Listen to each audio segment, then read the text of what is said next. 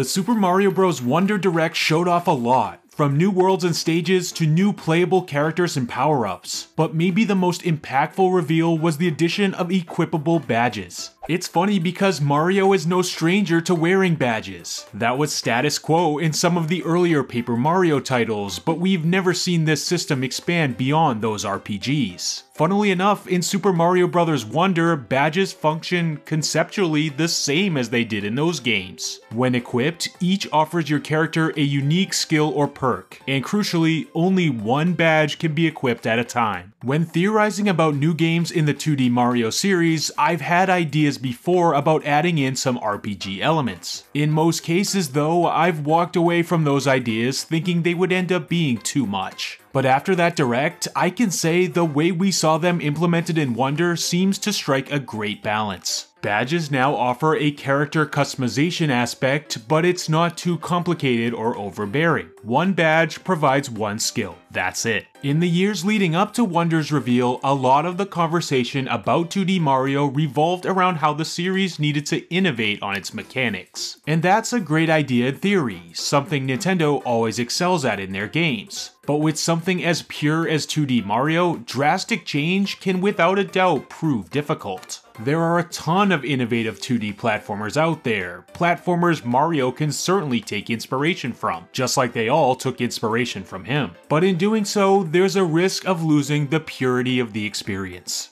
There are many that might argue 2D Mario is what it is and doesn't need to change so drastically. So while some might have been pleased with a bold new direction, others may have been left disheartened, perhaps wondering, is this even Mario anymore? Super Mario Bros. Wonders badge system is a genius way to change up things with some fresh core mechanics, but in a way that's not permanent. That's the magic of it. For those wanting to play with all the new experimental ideas, then go wild with the badges. Conventions will change, rules will change, and surely it will be a fascinating new step for the franchise. And for those who prefer a more traditional 2D Mario experience like the games of old, just don't touch the badges. It's as simple as that. You'll still be able to experience all the cool new stages in a way you're comfortable with and you know the new power-ups and Wonder Flowers are going to keep things very interesting still. But maybe you're like me and don't have a hard stance on 2D Mario either way, you just want more of it. Well, Wonder's badge system helps in this regard too, since at the same time it will help players adjust the game's challenge level on the fly. Maybe there'll be a badge that keeps your character small, forcing you to clear stages without getting hit. Maybe there will be a badge that shuts off all power-ups. Maybe a badge that spawns more enemies than normal on a given stage. The possibilities for more extreme challenges using badges are pretty much endless. And the same goes in the opposite direction. There are plenty of badges that can help make the game easier.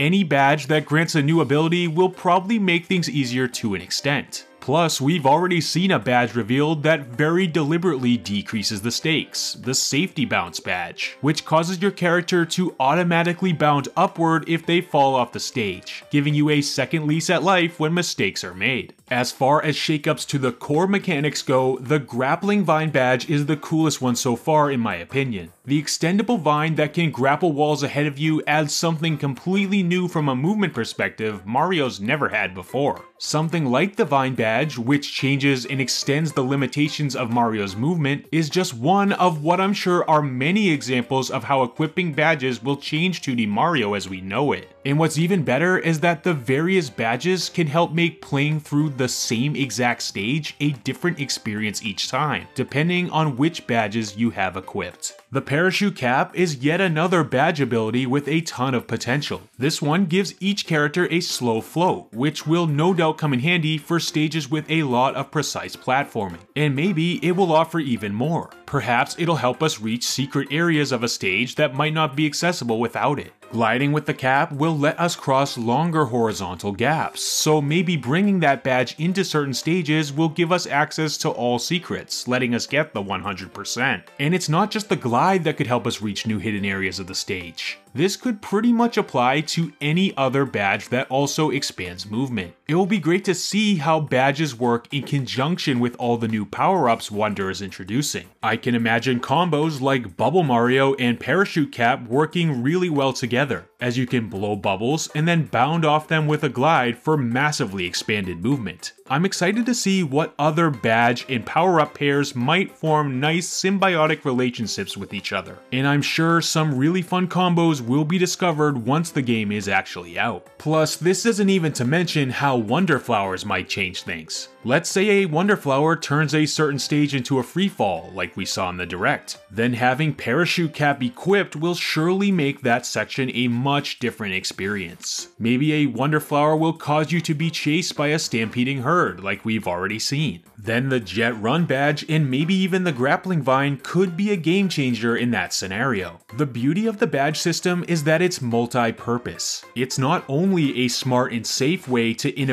on 2D platformer mechanics, it at the very same time makes the entire experience customizable and because of that, much more replayable. And this is almost certainly by design. One of the game's producers and a storied mind behind the entire Mario operation, Mr. Tezuka from Nintendo, mentioned in a recent interview how it kinda makes him sad that people might only play a Mario level once. But with the wide array of options offered by Super Mario Bros. Wonder's badge system, he's not going to be sad for much longer.